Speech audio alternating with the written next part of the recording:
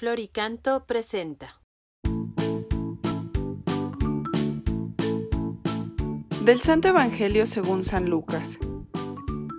En aquel tiempo, el ángel Gabriel fue enviado por Dios a una ciudad de Galilea llamada Nazaret, a una virgen desposada con un varón de la estirpe de David llamado José.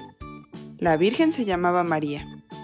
Entró el ángel a donde ella estaba y le dijo, Alégrate llena de gracia, el Señor está contigo. Al oír estas palabras, ella se preocupó mucho y se preguntaba qué querría decir semejante saludo.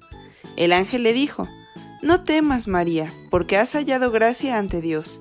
Vas a concebir y a dar a luz un hijo, y le pondrás por nombre Jesús. Él será grande y será llamado Hijo del Altísimo.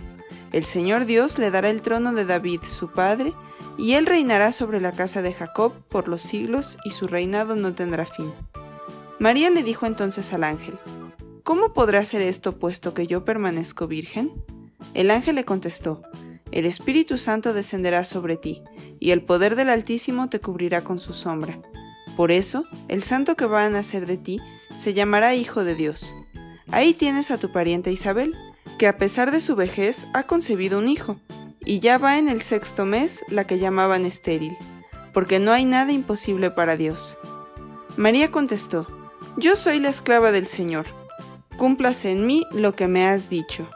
Y el ángel se retiró de su presencia.